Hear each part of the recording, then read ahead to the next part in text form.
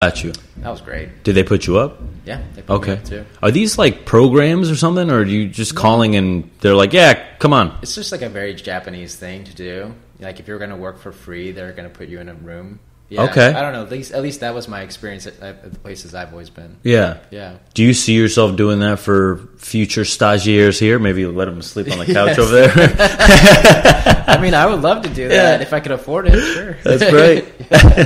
yeah. That's awesome. Yeah. Um, is this going to be a tasting menu? Yeah, restaurant? so it's a tasting menu, um, t- at least 10 courses, maybe 12, and we'll probably be around 150 to 160 when we open up for the price. 150, 160. Yeah. Got you. Yeah, I'm not really sure yet. Yeah. And are you focusing more on the cocktail side of it? Or are you going to have wine? Yeah, so we're going to have a wine pairing. Um, I'm a certified SOM, and uh, so is my AGM and my GM. Got you. So, let, let's talk about that real quick. Certified Som. Yeah. Where in your career did you decide you need to be a sommelier? Uh, it was like Californios. Because I'm not gonna lie to you, I fucking hate you guys. All right, You're like, how, I'm like, how am I ever gonna be that good? This guy has a palate that can taste all this wine, Yeah. but it's like, fuck, yeah. you know. But No, more power to you, bro. You know, Yeah. that's a lot of work, man. yeah, it's like it's a decent amount of work. Yeah. Yeah. It wasn't that hard. this guy's a natural. so, um, tell me about the the whole process. Like, Yeah, so at Californios, it's like um, Charlotte ran runs an excellent wine program, um, and so basically she was always like kind of encouraging to be like, you know, you should learn more about wine, and even Val, Val has this intro level too, and he was like, yeah, you should definitely learn more about wine. I did my intro. Like you should get into it too. And so I was like, okay, like all the tools are here. Yeah. I might as well do it. And so I did the intro with another cook, and the intro was like for me it wasn't like that big a deal. I mean, there's no tasting involved. It's mostly just a written exam. okay, Um, and then after I did the intro, I was like, "Fuck it, I'm just gonna go for certified." Like, you know, I might as well have it on like a stamp, and people be like, "This guy knows what, knows what he's talking about." Yeah, So, exactly. yeah. now is that certificate? How long did it take you to get that certification? So it took me like probably at least six months of like very dedicated studying while working at Californios. I heard Um, and then it's just one test, and that's it. tasting and written exam and done. Yeah. Ta tasting, and service. Got you. Yeah, but all along the wa- uh, all along the way, I had like a bunch of great mentors that worked at Californios. It's like a close friend who was the sommelier at Californios. He mentored me named June. He wor- he mentored me. Charlotte obviously mentored me. Mhm. Um, like a lot of friends got together and they kind of like uh, helped me out. Yeah. Yeah. Okay. So what do you? Uh, what's your favorite kinds of wines? Like, what are you into? I mean, I like Fucking like- everything. Yeah, I like everything, but I just like drinking. Yeah. but like, uh, I mean, I mostly like old world wines. I like um, like white wine for the most part. I like, you know, German Riesling. Anything German, Austrian is good. Mhm. Um, anything like French is amazing. Gotcha. Yeah, mostly old world stuff. Are you gonna have uh, Japanese whiskeys here? Yeah, Okay. absolutely. Okay. Mhm. So you're gonna it's full beverage service here. Full beverage service, yeah. But in the restaurant, I want to focus on wine pairings. Okay. In fact, I want to make sake like almost like a back, like a supporting character. I don't want it to be the forefront of the pairing. Okay. Like, Understood. Yeah. So maybe a couple courses with sake, but not. maybe like one or two. Yeah, yeah. And like the rest can have wine pairing. It's Gotcha. like, that's like the whole point of of Nisei is that the concept is that it's Californian and Japanese, Mhm. and you know you work with what's around you. And I think that for the most part, you know, Western palates they like wine. Yeah. we like we like wine, and so you should be able to pair wine with Japanese food. With anything, really. Yeah, with, Yeah. with anything. Um, but I think Japanese food and pairings they always get a bad rap because it's like, oh, it's Japanese food. Let's put fucking sake with it. You know? Yeah. Not, not there's nothing wrong with sake. I love sake, but it's just like this not, is just it's not thoughtful. yeah. It's not Yeah. thoughtful. It's like you know, there's a whole world of wine you can use for Japanese food too. Yeah.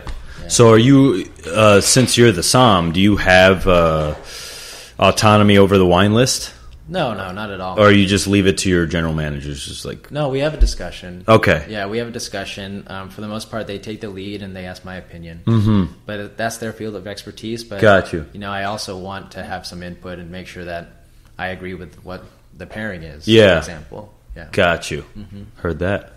Um, and do you have a few menus already worked out, or are you sort of just Yeah, I mean, like, I've been doing the pop up thing for a while, so I, I have You got a few dishes under your belt. yeah, I got some dishes. I Heard can- that.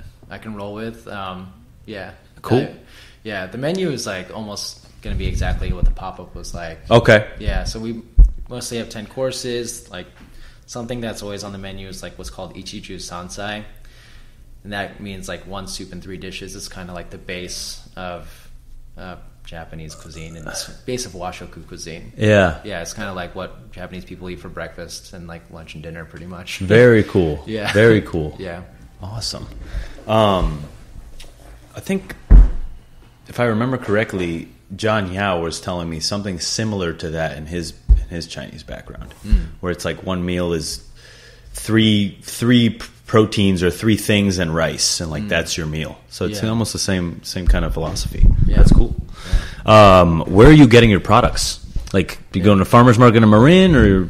Yeah, yeah. So I go been going to farmers markets for a long time. I try Yeah. to work as locally as possible. You know, we were talking about water at table earlier. Yeah. You know, I use as much local seafood as I can, and like I visit tons of farms in the area. Like a couple weeks ago, we went to K and J Orchards in Winters. Oh, yeah. California. yeah, K&J, yeah. yeah. Booney's great. Yeah. So it's like we try to be as local as possible. Got you. Yeah. Okay. But I mean, like, there's some Japanese products that I have to get directly from Japan. Yeah. Especially some like specialty fish Yep. that I can't get here. You know, I love featuring stuff like that too.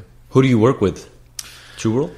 Um, I work with uh, Kiyoi. Uh-huh. Um, he's relatively new. Okay. Um, and I work with uh, IMP, True World, and some other people. Yeah. Got you. So the the first gentleman you mentioned is it uh is he just like a freelance fish getter? No, uh, he Who's started. he working yeah, with? He started pretty small. Yeah. but he's based out of like uh, he's like close to the airport but um, basically yeah he has his, like his own importing business and he almost almost exclusively imports japanese fish and products Heard that. um, and the quality is really good Yeah. but he's like relatively new um, but we've i was like one of his first customers at Californios and so i started that relationship and now it's just kind of built over time and now we're like pretty close Yeah. yeah Uh what type of rice are you using?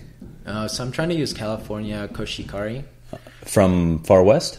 Uh, no, no. Um, but um, I'm trying to use California Japanese rice to Got you. dumb it down. Yeah, yeah, yeah. No, no, I hear you. But wh- where are you getting it?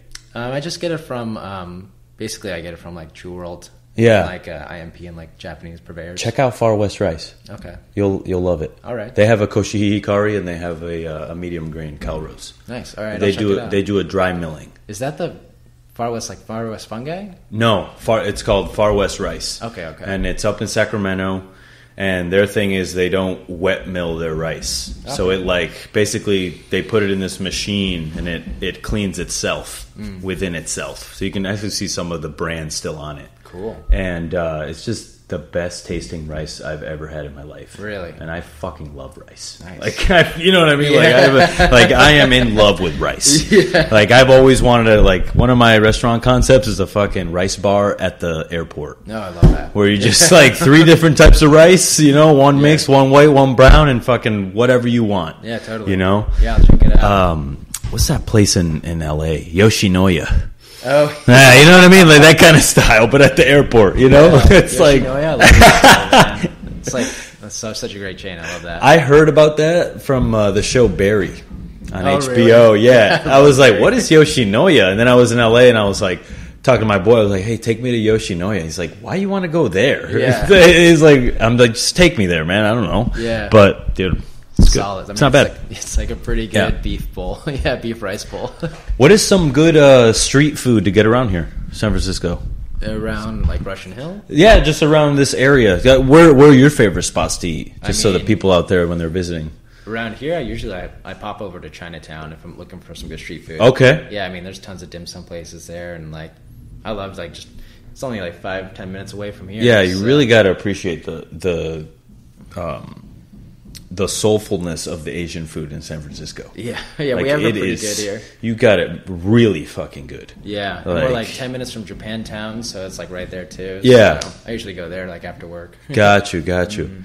Uh, has your pop up attracted uh, any Japanese chefs that are like kind of yeah, I seeing what you're doing? Some local uh, Japanese chefs have eaten at the pop up, and like I'm pretty friendly with a lot of them too. Yeah. Um, yeah, I'm starting to like a lot of people. I'm realizing like almost all my customers are Asian. They're like usually 75 percent are Asian. Yeah. yeah, but it's great. I mean, honestly, when I pass by an Asian restaurant and I see Asians in an Asian restaurant, I am going in there. You Yeah. know, like Yeah. they- know better than me, and they're there. So Yeah. you know, there's some places where you go and you're like, these are all tourists. Like this, you know, it's a little. Yeah, it felt like at first it's a little nerve wracking, but then it's like kind of like validating, and then after a while, you know, you kind of just I don't know. For me, I, I just kept cooking food that I felt comfortable with. Yeah. And I, people responded well to it. They're like, "Yeah, I grew up with this too." I'm like, "Sick! This is great."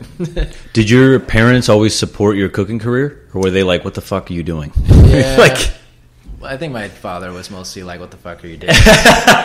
you're like, "I'm gonna cook, Dad." yeah, I mean, he's a, he's a pretty traditional Japanese guy. so Yeah, yeah. He was like, "You should get a college education. Like, what are you doing?" And like, he's like, "This is so stupid." Yeah. but then after a while, like, you started- prove it to him, Yeah, you I, know? I kept like working. Like I said in high school, I kept working in kitchens, and I was like, "I'm gonna go to culinary school." And like and all this stuff, and he was like, "All right, fine, whatever." Yeah. but um, over the last couple of years, they've been very supportive. Yeah, Very cool. yeah. Yeah, man. I'm fucking happy for you, bro. Thank you. this you. is I mean, it's a it's a long time coming when a cook can finally open his own restaurant and have the support of the community and your old chefs. Like that's fucking magical. You Yeah. know? And it seems like you got a pretty good fucking crew and, and everything like that. So um, I can't wait to come in when you open, man. Yeah, thank you so much. Yeah. Well, thanks for hitting me up, bro, and thanks for talking with us and letting everybody know your story. And um, we'll do another one. You know, we'll catch up Sure. after you've been open for a little bit and see where you're at. Yeah, that All sounds right? good, yeah. Fuck yeah. Sucio Talk signing off.